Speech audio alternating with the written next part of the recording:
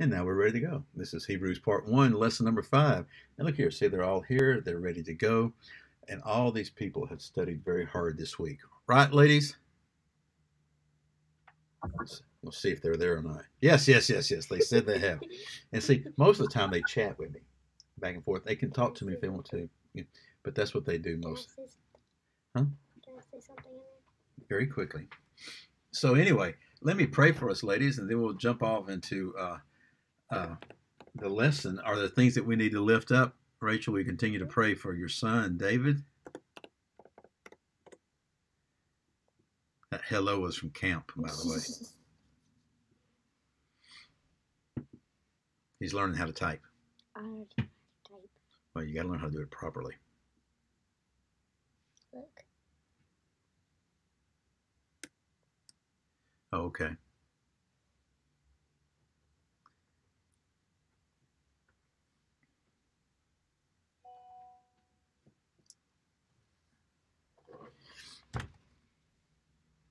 Just a minute.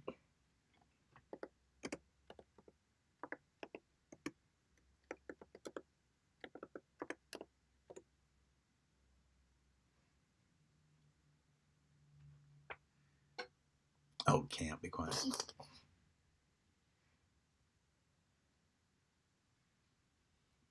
you see what Carol said there.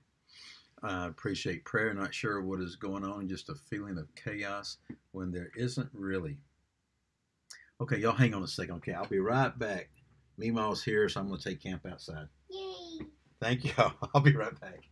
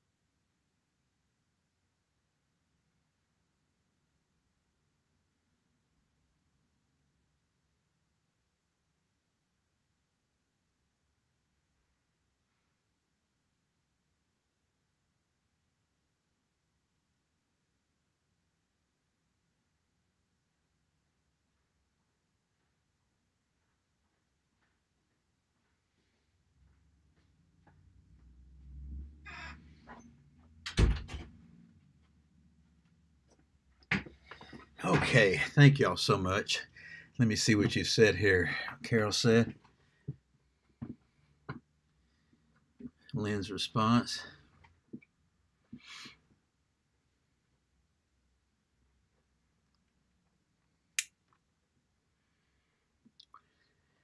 Yeah, what Carol said there about uh, uneasiness. Hmm.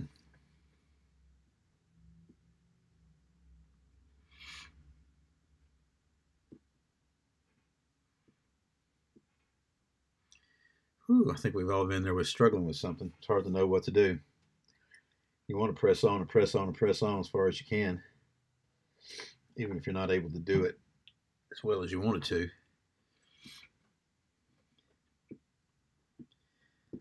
Okay, let me pray first, and we'll continue to talking about some of this, I think, right here. So, Father, I thank you. You know the situations in each one of our lives.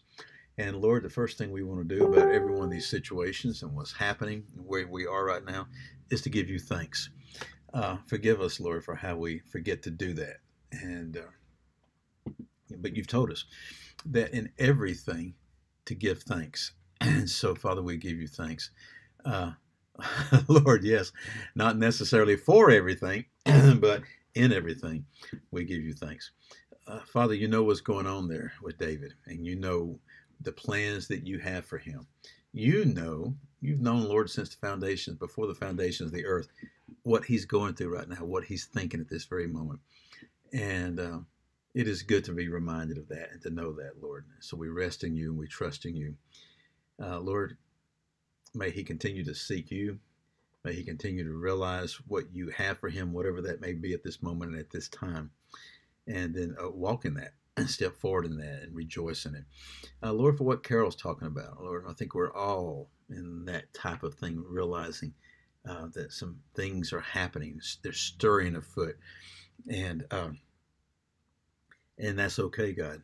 I'm excited about that, though I know it may be uncomfortable in many, many ways, but I know who we are, and I know whose we are. And so, Father, we rejoice in that.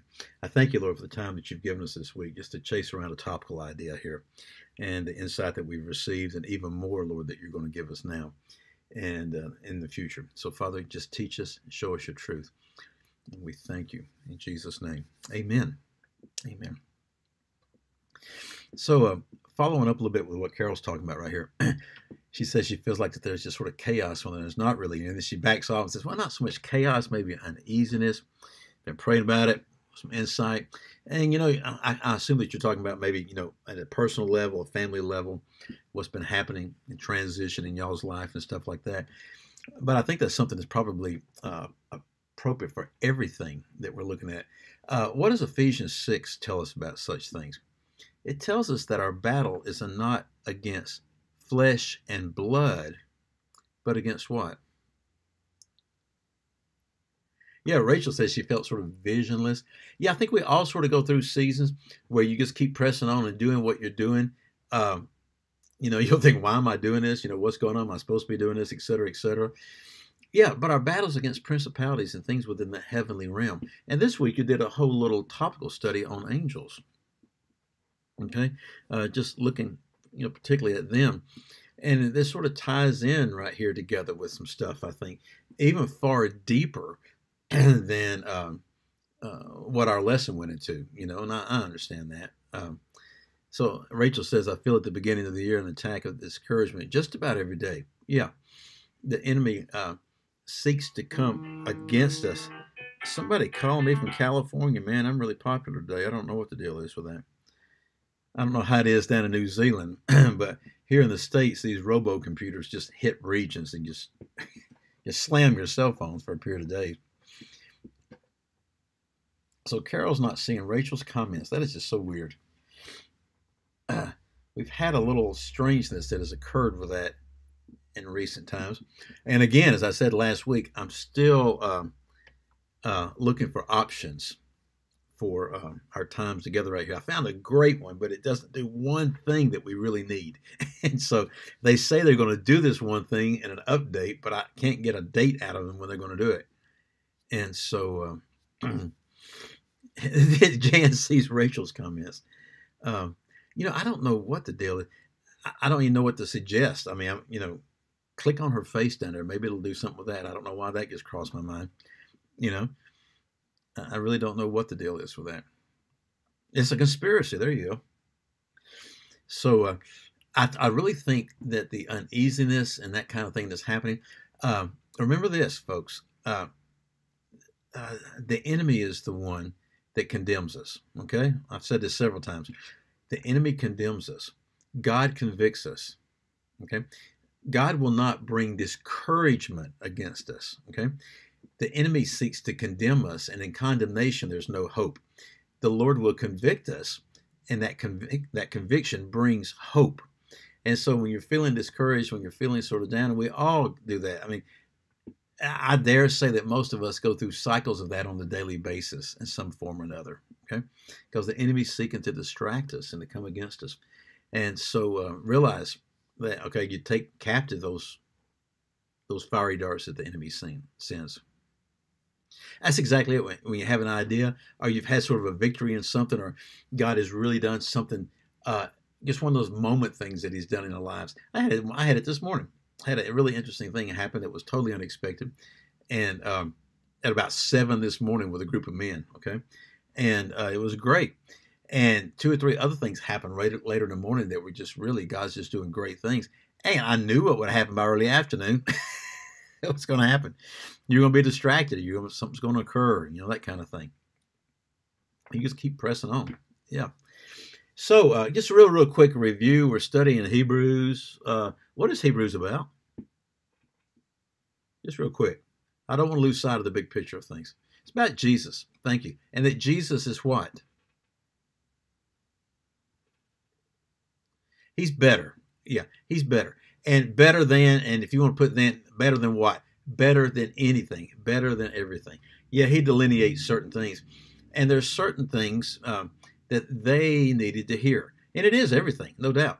What were some of the things that they needed, needed to hear that he wrote in this letter, whoever the author was, that he wrote in this letter to them? What have we seen so far? Jesus is better than yeah, the big thing that we're looking at this week's angels. That's the reason we're doing it because in the first two chapters, uh, he deals a lot with that. He actually starts off at the very beginning that he's uh, better than the prophets. He's better than the law. He's better than the angels. He's better than Moses. He's better than the tabernacle. He's better than the sacrifices. He's better than Moses and Aaron. He's better than Melchizedek. Okay, he's actually better than all these great folks that have uh, lived their life by faith. Okay, he's better than the old covenant. So Jesus is better. And the thing that comes along with that in relationship with us is that um, what are we to do? Jesus is better. So, in light of that, what is our response? Give me a one word response.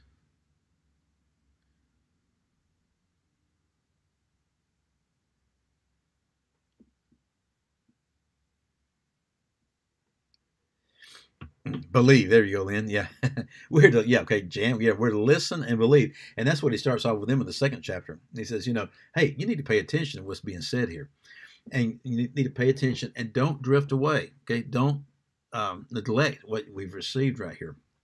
And so that's the big picture what he's talking about. Uh, that Jesus is our high priest. Now, why do you think that all, he launches in the first uh, chapter about angels?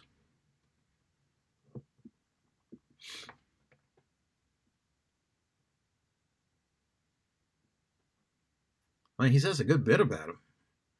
And why comparing Jesus uh, to angels in such a way from the get go?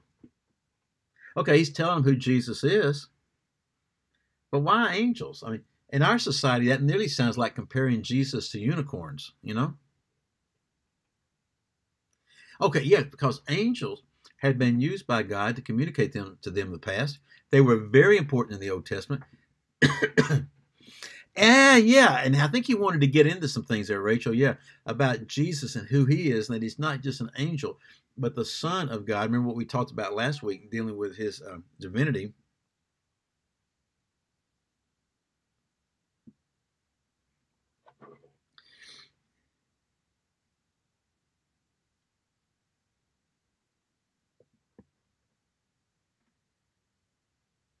And so he wanted them to understand some things. Yeah, they. Uh, what was the Jewish mindset? Let me ask it this way: What was the mindset of the Jew, and particularly even the redeemed, saved Jew, in relationship to angels?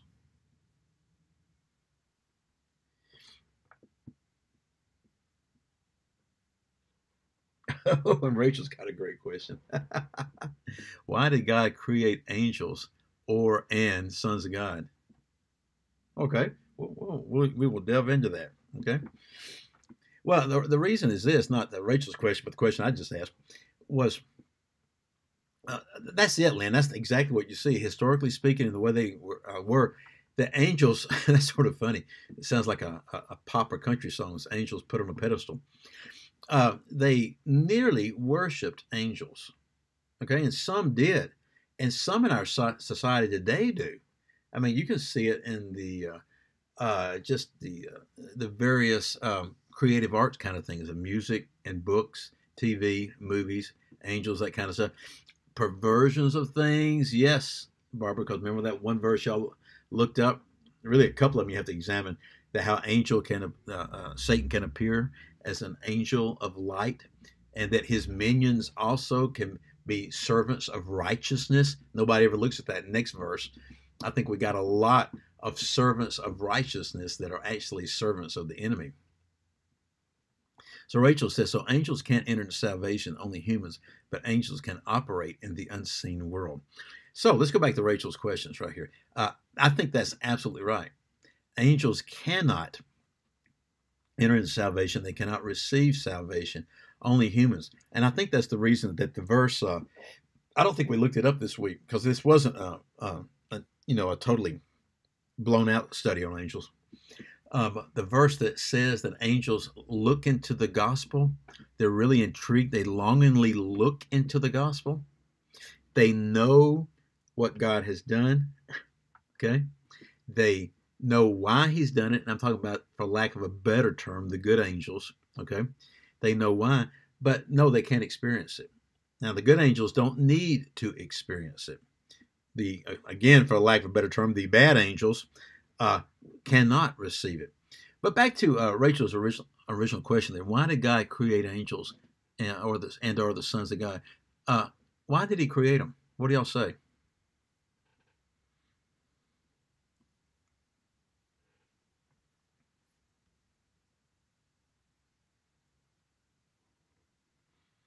Uh, yeah, well, well, did he do it to minister to us, Jan? Uh, uh, Rachel says he wanted worship. The Lynn says a ministering agent, uh, agents for God to be messengers. Yeah. Well, just about any time uh, that somebody asks me a question about why God did anything, I really start with the foundational thing uh, because He wanted to, and I'm not being smart mouth and flippant about it but it's simply the desire of his heart. He wanted to. Why did he create all of creation? Okay. And you see uh, major hints of it all through Scripture. Uh, you know, the sun, moon, and stars, and everything like that. The creation testifies of the Lord. Okay. He created man to be in communion with him. And so Rachel says, Oh, so I guess I have to ask, what is the purpose of angels? So, you know, when you did your little uh, uh, word studies, when you looked at the very scripture passages this week, what did you find out about actually what the word meant in Hebrew and in Greek? And what did you find out the purpose of angels were? Uh, you've already said a couple of them ministering spirits, ministering angels. Uh, yeah, both the words meant messengers. Okay, messengers. And, and basically, an angel is just God's messenger. Okay. And, you know, some commentators get sort of a not irreverently flippant about it, but you'll say, hey, you know, they're just basically messenger boys, uh, which is, you know, sort of true. You notice that they're always men too. Oh, so before humans, who are they messaging? Well, why do you think they were before humans?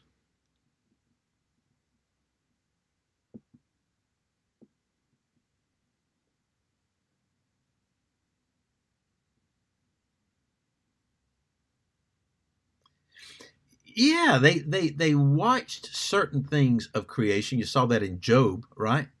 You they they watched and saw certain things. Is it they were just created to communicate with humans? Somebody uh, mentioned, well, Rachel, it was you. I it up here. Uh, that they are very involved in worship, in worshiping the Lord God. Uh, when were angels created? I like that, Lynn, to execute God's purpose. You see that, and and what? Uh, how did that work out? And purpose in what ways? What did y'all see this week when you were looking and doing all the cross references? They had position of authority, positions of authority related to what? No, I don't think we have been told when they were created. Okay. A lot of times we assume that they were created long before we were, but that's not true. Because in the beginning, God created the heavens and the earth. Okay. He created everything. And you see that he cre- uh, created, was it Colossians, I think, that had the scripture passage that angels are created living beings of God? So we know they're created. Uh, we don't know exactly day one, day two, day three, day four, day five, day six type of thing, but I think they were created within that time period. If I'm wrong, I'm wrong because the scripture doesn't tell us point blank when they were. Yeah, we sort of made the assumption that it was before he created the heavens and the earth, but wait a minute. Why am I limited to what heavens are?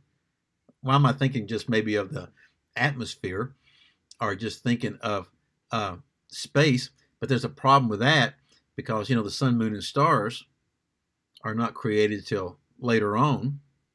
Actually, after he creates light, you know, which is intriguing in itself when you look at the sequencing of things there. And so we don't know we don't know but we know that they, that they function as messengers okay we know they function as worshipers We know that they execute the uh, uh, uh, purposes of God. I, I, love the way you are saying this, and that they have uh, positions of authority related to that.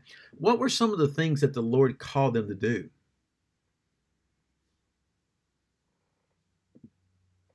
Now, there was one verse, what was it, over in Job 38?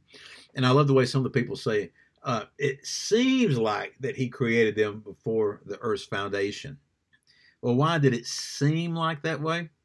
Well, it's because they're rejoicing in heaven when they see what God has done, you know, and he very well may have. We simply don't know. Okay. They exhort people to obey. Very good.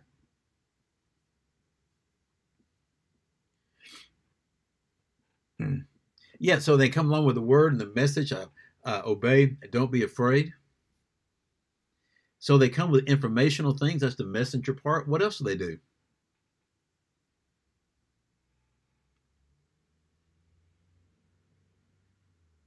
Do God's bidding related to what? No, you're absolutely right. I mean, is it just showing up and oh, you got that morning star thing right there? Yeah, the princes and they sang together. Well, Jan says anything he wants. We actually saw with some of the cross references this week, folks, where they were executing God's judgment, right? Yeah, that they would bring forth a, a, word of what the Lord wanted to do, of leadership. Uh, you see it in the Old Testament, you see it in the New Testament. Yeah, you see them coming along bringing judgment. Yeah, you got that uh, Revelation 12 thing about war in heaven. So there's this fighting thing. We know that they're powerful. we know that they are um, uh, invisible for the most part, but they can be visible. How do I know they can be visible?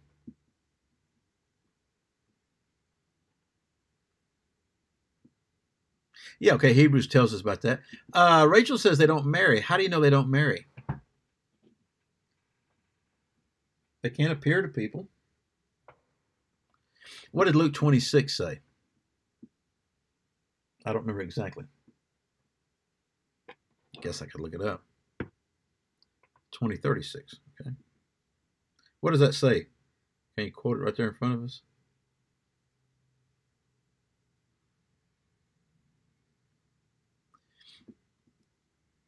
Well, now you're jumping over the mark. I mean, you're oopsing me everywhere here. Mark 12, 25.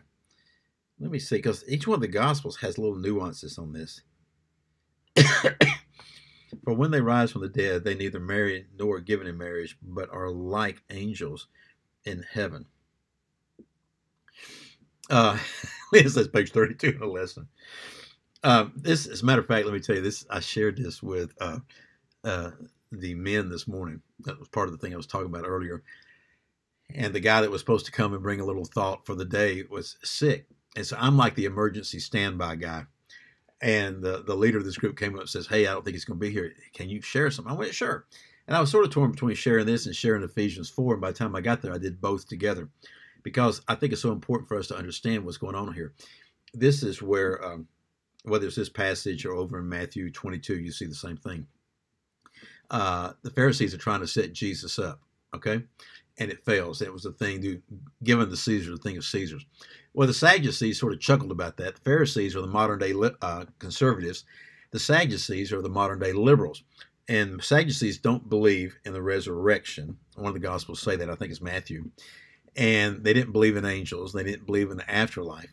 So, really, like, what's the point of belief then, huh?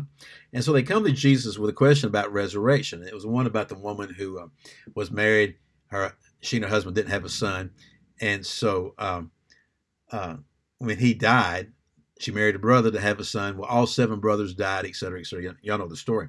And Jesus looks at him and says, You know what? You do err. You do not understand the scripture nor the power of God. And that was my point for us today here was that we err not knowing the scripture nor the power of God. Well, here the next verse in Mark 12 says, They neither marry nor are given in marriage, those that are resurrected from the dead, but are like angels in heaven. And so we sort of assume that because of that, that the angels don't marry, but it doesn't say point blank that the angels don't marry. Okay? It doesn't say. they neither marry nor are given in marriage, but are like angels in heaven.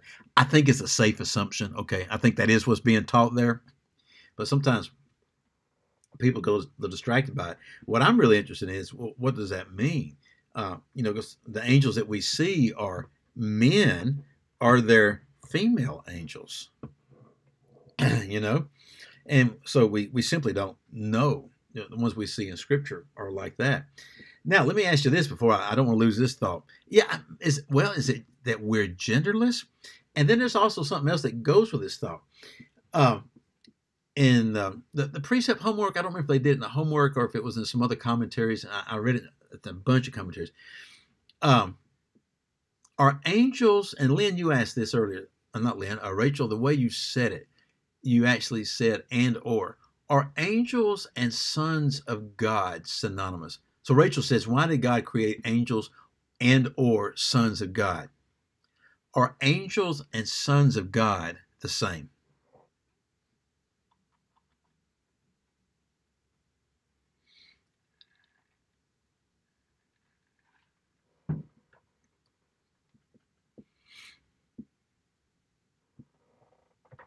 Yes, so Rachel's mentioned in Genesis 6 right there, where the angels uh, uh, cohabitated with the daughters of man. And uh, are they all male? So, are angels and sons of God synonymous?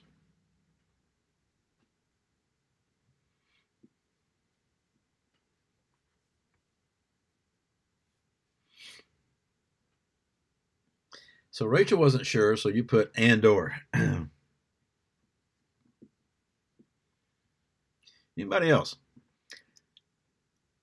So what about this angels and sons of God and stars?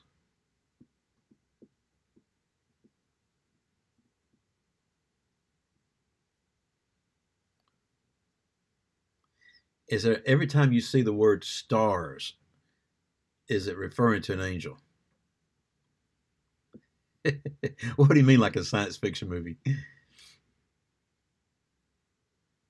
Oh, so Lynn's taking the sons of God from the point of view of the resurrection, and you do see that. So here's the big thing: uh, the context is what's going to drive the interpretation, because you have to see what the context is.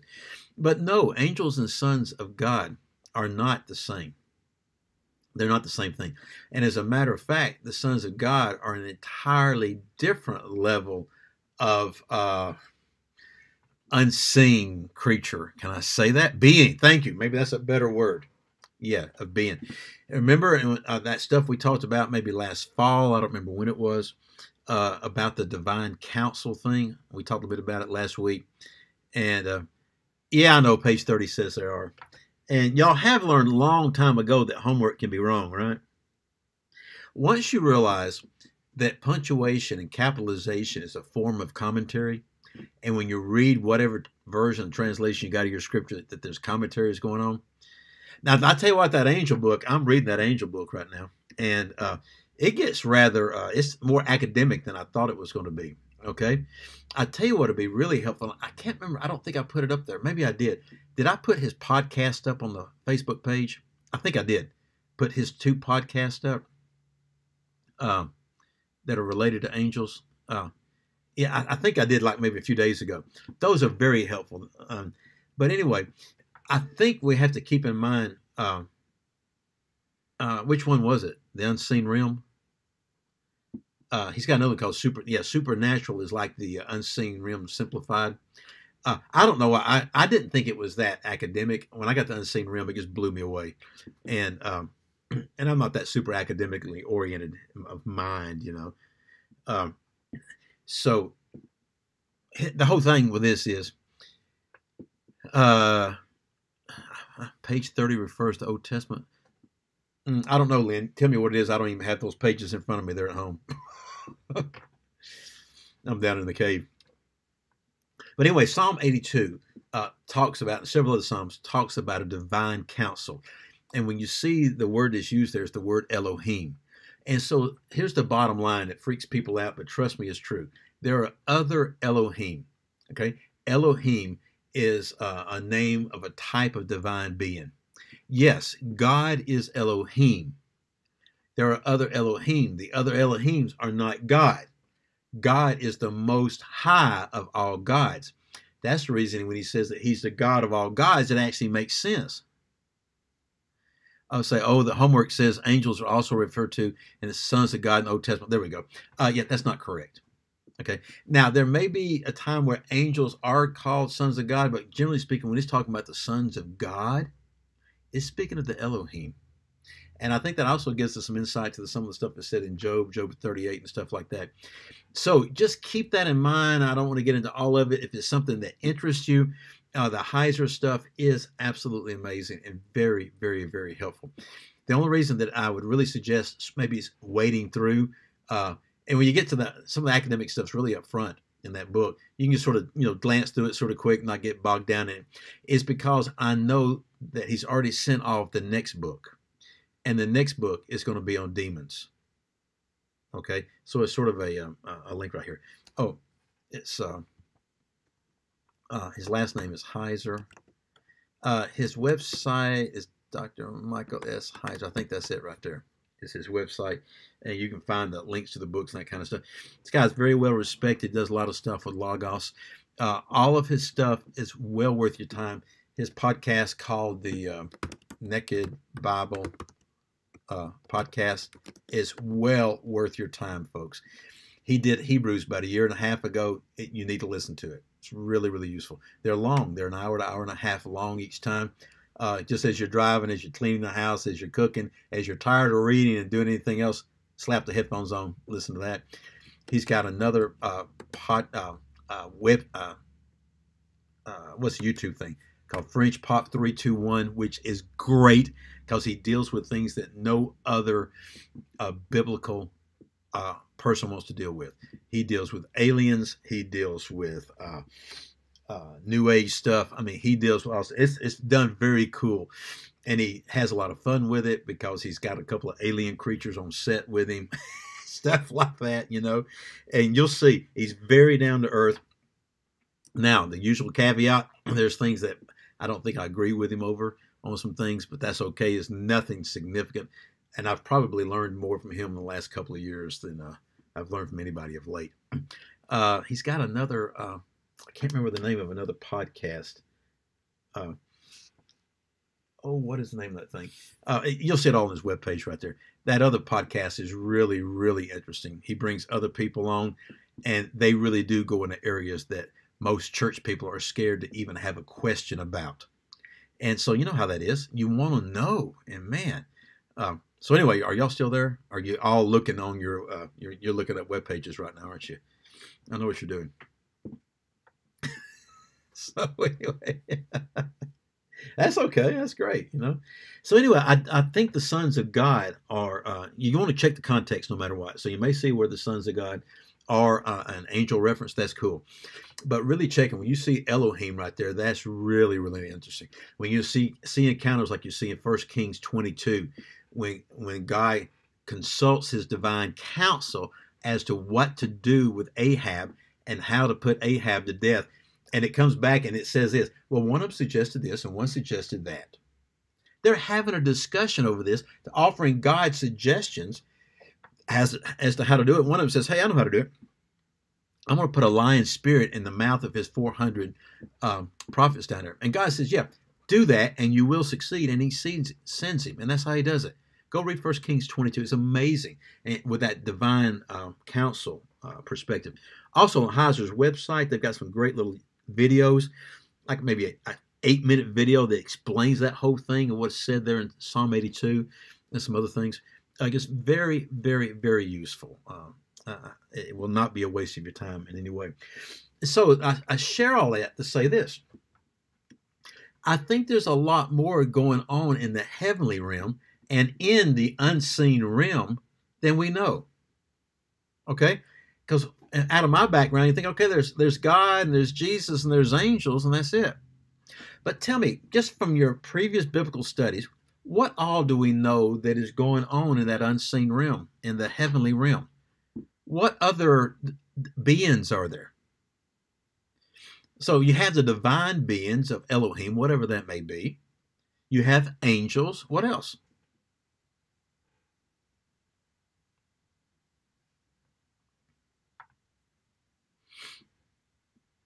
Oh yeah, yeah, it's difficult. Uh, in this particular subject matter, it wasn't difficult at all with me because it explains so much. Once you see this, uh, once you uh, see this divine council thing, once you go over to Deuteronomy 32, it explains what happened. It explains what happened with what we call the bad angels here in a minute. Okay, you have the living creatures in heaven. Yeah, y'all continue on while I talk about this stuff. What else? What else we see? It explains what what really blew me away is the divine council thing. It explains what you see in Genesis six. It also explain explains why the women had to had their hair covered in First Corinthians. I'm not going to get into that right now. You have the seraphim. What else you have?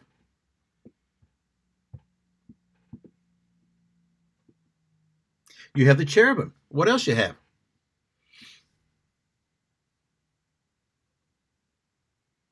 So you have the the, uh, the living creatures, the 24 living creatures. You have elders. You have angels. You have various types of angels. We know that from the scripture. Okay. You have two or three of them. They're actually names. I think there's two of them that are named in the New Testament. In the Jewish writings, I think they have five of them that are named. Uh, uh, one of them's Raphael. I remember that. Well, that's what I'm saying. They're not necessarily angels. I know the 24 elders are not angels. They're what? They're other beings. They're other creatures. They're other things right here. And it gets sort of, and when you read the scripture with this in mind, all of a sudden you start saying, wait a minute. I made the automatic assumption that every time I saw something like that, that it was an angel. And that's wrong. See? And that, that really starts getting some things going, you know? so let's do this real quick. Uh, pressing on with these good angel things that we're talking about, do this sort of quickly. You looked up a lot of scripture passages. Tell me, uh, what were some of the things that the angels did? Okay, we know that they're ministering, okay? We know that they can be present when you may not know they're there. Have any of y'all ever experienced that? Have any of y'all ever experienced an angel? Or think that you've experienced an angel? It's actually sort of a weird thing to even want to talk about. What do we know? Sure, I think you would know. Absolutely. You may not know at that moment. And particularly Hebrews says that at the end, it said, hey, y'all be hospitable because by doing this, you have entertained angels unaware. You know, people want to go, oh, well, that just means that you can't. No, no, no, no. Okay, Carol's husband did. There may be times when you, looking back, think that you have. Uh, I've got a great example of that. Uh, uh, Jan will know that the, the Baptist church I was at in South Florida, and I was about to leave that place. I just found out I was leaving, and it was happening very, very quickly. And so we decided to have just a night of worship and not really even tell anybody. It was on a Friday night, I believe. I, that Sunday was going to be my last Sunday. And the people in the church really didn't know it, just my friends that just found out. And so we decided to have an evening of worship. And so we um, just told some folks. I don't remember who it was, I don't remember how it happened. And we had a night of worship, and we were just there singing and praying. All of a sudden, we looked up, and there was a lady sitting there. And Jan will testify to you that this sanctuary, which would seat a thousand people, was as all sanctuaries are. They're nosy. You remember Victoria. They were nosy. I mean, noisy. you couldn't walk in that place without the doors creaking, is what I'm saying. That kind of stuff, you know? And so we look up, and here's this just beautiful black lady with very Romanesque features, you know, straight nose and straight hair. And, just, and we said, Well, hi, uh, glad you're here. And she said, Yeah. And so we just continued worshiping and praying. And so um, I think somebody actually asked her then, you know, how'd you hear about this? Well, I, I just heard y'all were meeting, so I just thought I'd come. And so we, we met for a time, we worshiped, and then, you know, we, we just sort of left, you know, didn't really dismiss. Well, mine and Jan's dear friend, Lynn, Lynn, uh, Lady Lynn, my wife's best friend the last, what, Jan, 35 years probably. She lives over Atlanta, about three hours from us now. And um, she just sort of walked her out the front door. And this front door is on a very, very busy road. They, they go out to the front of the church there, and um, they're saying goodbye. And Lynn's saying, Are you sure that I can't give you a ride? She said, No, I just live right down the road here. She said, Well, I just live right down that way.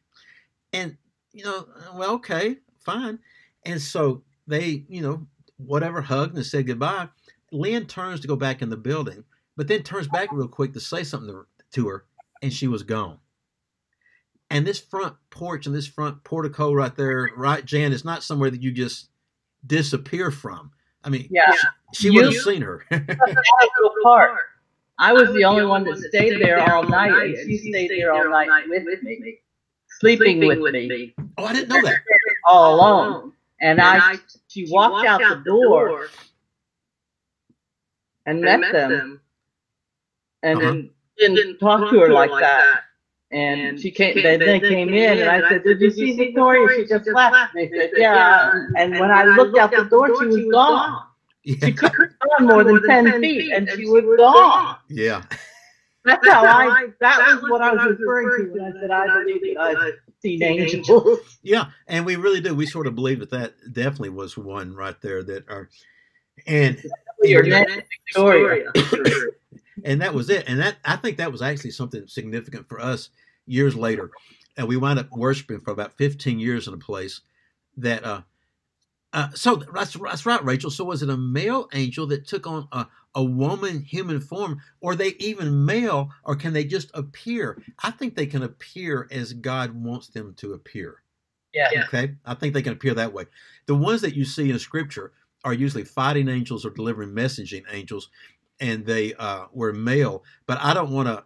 People automatically want to assume, well, since they're male, they're all male. I don't want to say that. Okay, uh, it's, it's we simply don't know. Okay, okay. Rachel wants to know: Can they take on a form of a, a child? Well, I feel real safe in the answer of that. I don't know. you know, but I don't want to limit it to say no. They have to be an adult form or, or whatever. No, I think that think that God could speak through a child like that. That He could take on something like that in that way, but I simply don't know. I do know that the angels. We saw that in Matthew that they ministered to little children. Remember that? I, yeah, that might be a good thing there, Kimmy. If it's something that's going to be you know that we that we see if there's a message but you saw how people reacted um, there's times when angels appear and uh, people think they're just a person okay? The, the the couple on the road to emmaus right? They see jesus and they think he's just somebody right? They're like clarence in a wonderful life. Uh, when gabriel appears he comes giving a message. But he's not necessarily an angel that they're bowing before instantly.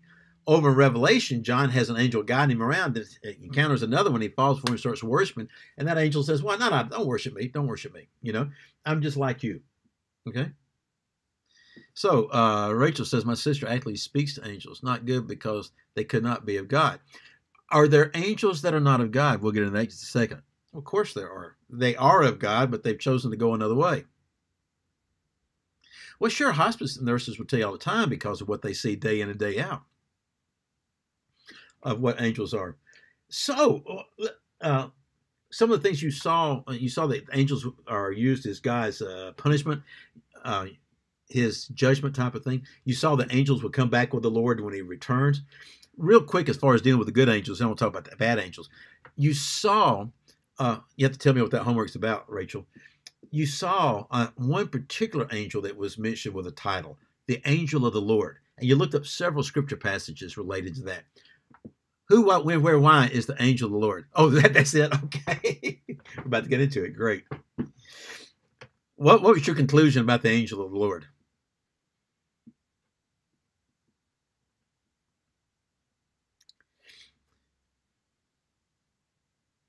most of them was revealing a Hebrew name of God, El Roi, yes, the God who sees. Uh, Abraham, uh, Jehovah Jireh, yeah. What was it with uh, Gibeon? Wasn't that great? Yeah, I mean with Gideon, not Gibeon, Gideon. Jehovah Shalom, yeah, uh, Lord is peace. So who is this angel of the Lord? Just from what you read, and boy, each one of those folks is a a phenomenal uh, study, a phenomenal account. So much to be gleaned from it.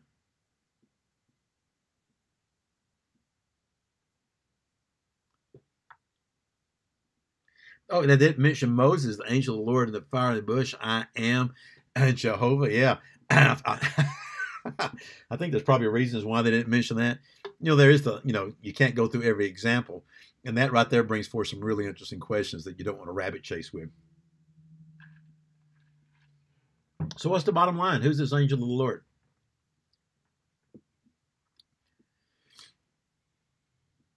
I'm going to wait for some answers here. Yeah, I've got all night, man. Rachel just had lunch. She's ready. I mean, she can kick back. Carol's thinking, I want to go home and just eat. I'm tired. Rachel's already into this bag of chocolate she showed us a while ago, guys. My goodness.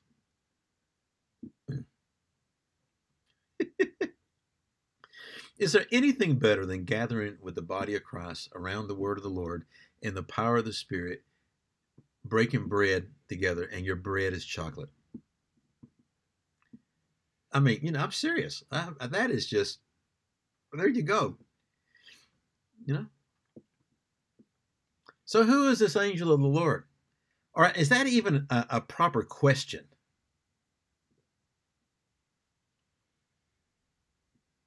Okay, when Moses encountered the angel of the Lord as God, really, does it not say, it doesn't say that he's God?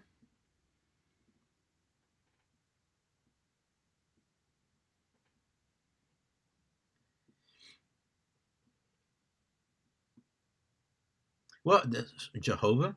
Here's what's interesting about all these is that when you read the account, just reading it from this perspective, and particularly when you're reading it from the divine council perspective, or, but just reading it from the homework we were doing and what we were examining, they all call him Lord. And this goes beyond just the uh, uh, the patterns of the day kind of thing. They call him Lord because they actually say the Lord who will see.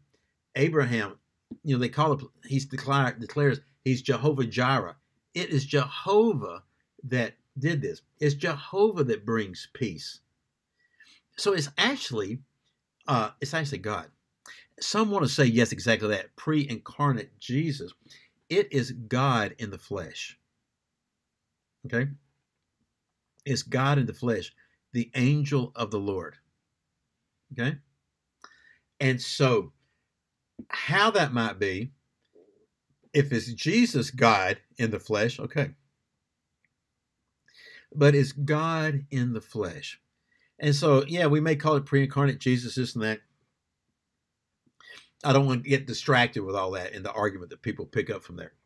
But is God taken on the form of flesh to communicate and be there with? Now, you see the angel of the Lord bringing forth judgment too. One is not supposed to look on without dying. You can look upon this one without dying. I don't think you can look upon God as the Spirit without dying, though you see uh, Moses and the 70 elders of Israel sitting on the slope of Mount Sinai breaking bread with God, and they didn't die. Okay? So quickly, because our time is flying by. There's some bad angels. Who are the bad angels?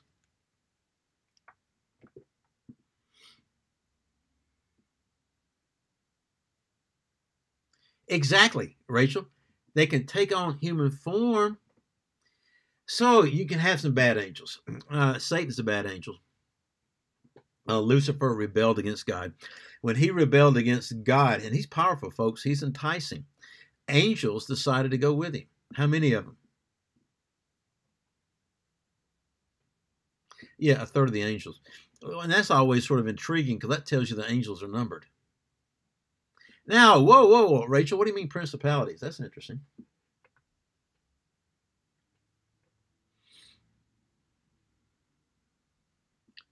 Yeah, there's two thirds that remain loyal. What about the principalities? What's that? What's that all about? Oh, there's order to angels. Okay, okay. Yeah, you see that. Uh, Lucifer was uh, a um, a worship leader. Oh yeah. Okay, can't see Rachel's comment, so can you repeat what you're saying? Sure, yeah. Uh, Rachel says something about principalities. Uh, are there any other bad entities, for lack of a better term?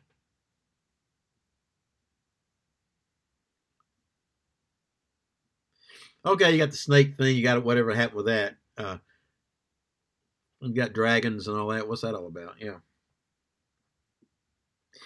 Well, you saw what's going to happen. You had destroying angels. You got the devil and his angels. So we know the devil's got angels.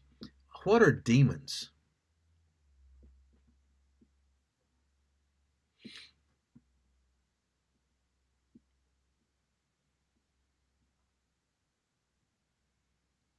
Well, demons possess people, but just what are demons? Uh, Jan says a bad angel follower is Satan. Kimberly says evil being spirits. Uh, yeah, where'd they come from?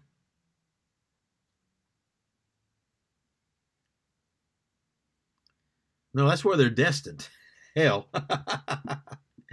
uh, Kimberly smells a rat and says, uh, "Satan?" with a question mark. What do y'all What do y'all think? What, what do you uh, What did you think, or can I say assumed, uh, that demons were?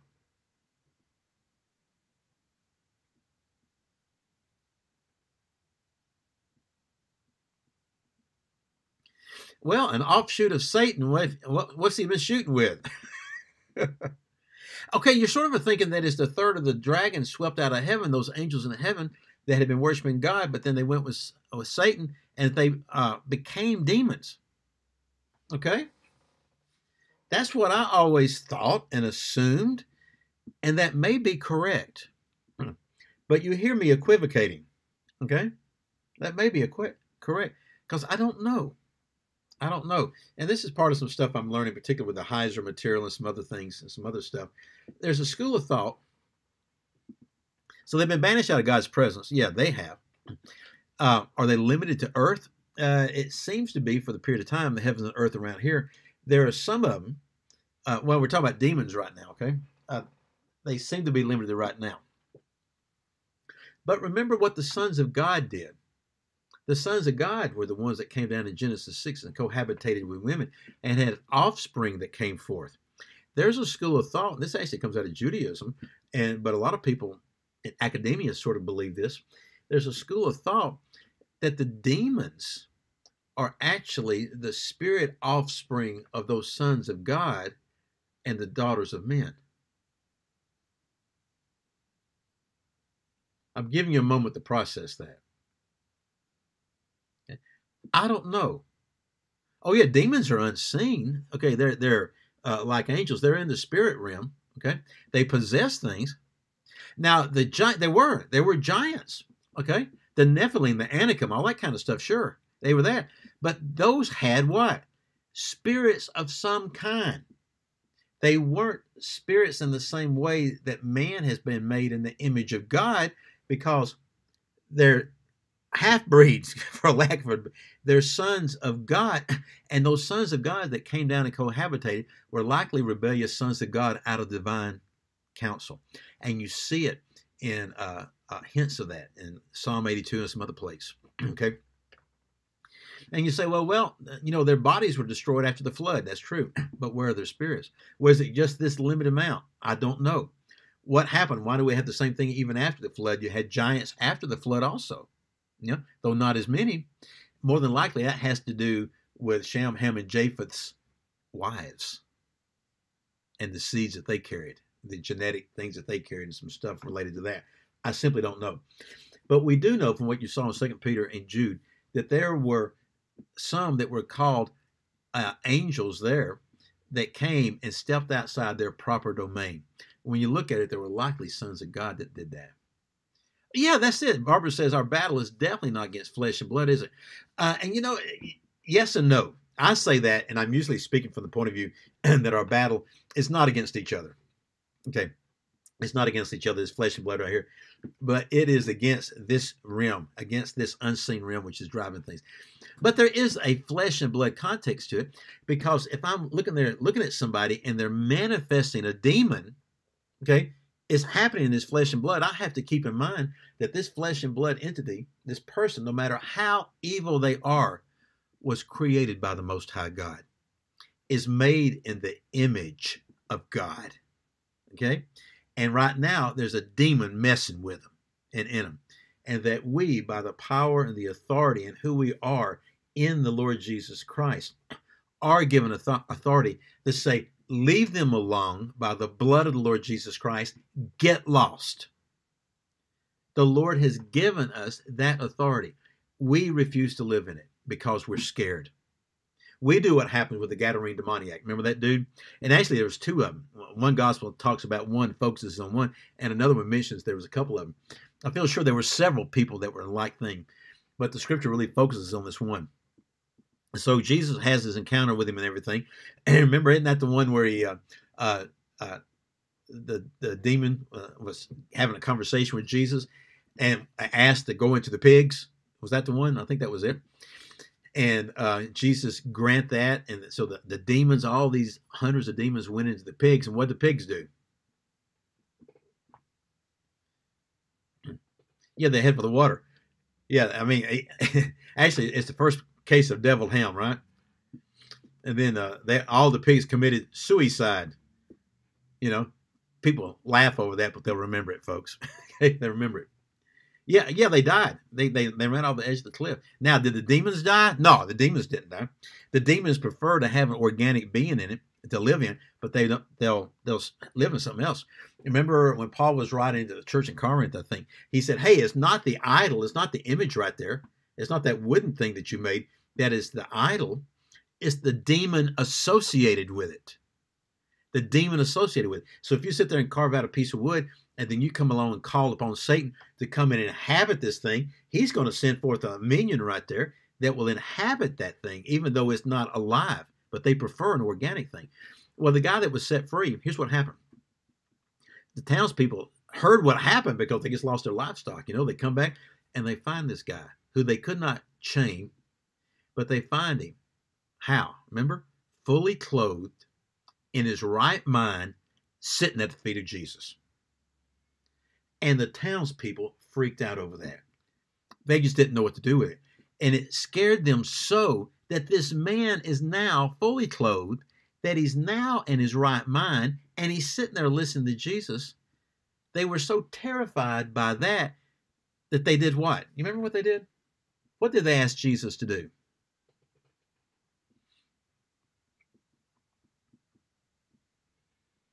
They asked Jesus to leave. To leave. And so he left. The man that had been set free comes to him and wanted to travel with him. He said, No, no, no. Jesus said, Stay here, go home and tell folks what happened to you. Jesus comes back to that region sometime later. It wasn't that long later. He comes back later. This time they welcome him with open arms. You know why? And it was the region of the Decapolis, the 10 city region. That guy had gone forth and told everybody what Jesus had done for him and how he set him free. But see, we're scared to even consider the fact that the Lord has given me the power and the authority to speak to this situation. We agree with what the world says. We'll sit there and say, oh man, something just came all over him. Not taking for a moment one thought of consideration as to what that something might be, or seeking the mind of the Lord, or realizing, wait a minute, they're being messed with something demonic right here, and speaking to it and telling it to leave in the name of the Lord Jesus Christ. Barbara gets posted right here. What about verse 1, John 4 4? You are sons of God, little children, have overcome them, because he who is in you is greater than he who is in the world. Yeah, absolutely. We don't appropriate, we don't live in with what he has given us. You know, with being true believers, we have the fullness of God in us, not just a little bit of it. God the Father, Son, and Spirit dwell within us. John 17 speaks to that. Dwells within us. Angels are about us angels are here to minister to us. You saw some of the examples in the scripture where the angels minister to people, whether it's bringing food to the prophet or helping Jesus after a 40 day fast and an encounter with Satan himself and those three temptations that he had. You know, angels will minister to us. We just need to walk in faith. We need to realize, yeah, sometimes we walk in fear, I think, because we think, well, you know, angel can, uh, Satan can appear as an angel of light, you know. Yeah, he can. And a lot of his lot, Satan's got a lot of servants of righteousness, and they're in a leadership position in churches. That's the reason that we, as the body of Christ, need to function the way we're supposed to, because those that the Lord has given the spiritual gift of discerning of spirits will know who is of God and who's not of God. But that right there is, I think Rachel said a while ago, really challenges what we're, you know, accustomed to. It sort of pushes the envelope with us. Are y'all still there? Or am I just ranting and raving to myself?